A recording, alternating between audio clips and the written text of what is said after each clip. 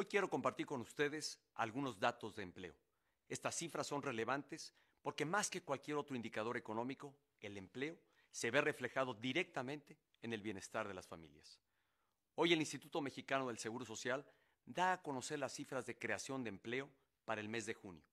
Nuevamente, se trata de cifras históricas.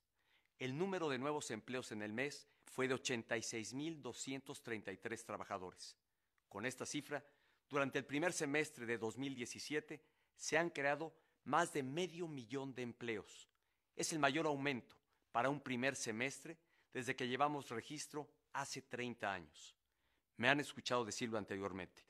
Este es, sin lugar a dudas, el sexenio del empleo. En lo que va de la administración, se han creado más de 2.800.000 empleos. Nunca antes se había creado tanto trabajo a estas alturas de un sexenio. De hecho, en cuatro años y medio de esta administración se crearon más empleos que en los seis años completos de cualquiera de las administraciones anteriores.